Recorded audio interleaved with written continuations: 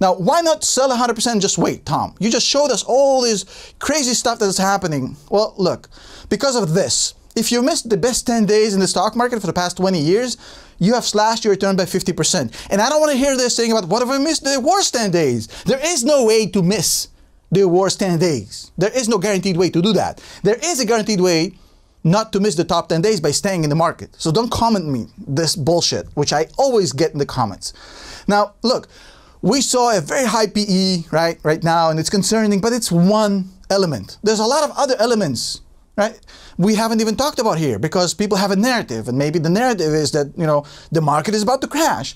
What about credit spreads? What about earnings? What about liquidity? What about macro? What about market internals? There's a lot of stuff happening that are beyond the narrative that we are about to crash. And right now, I'll show you.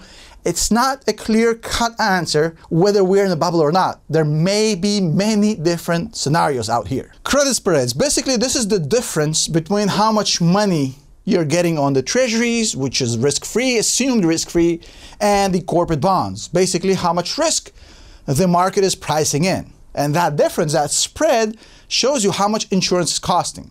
If insurance fees are high, that means that the market is expecting a crash, right?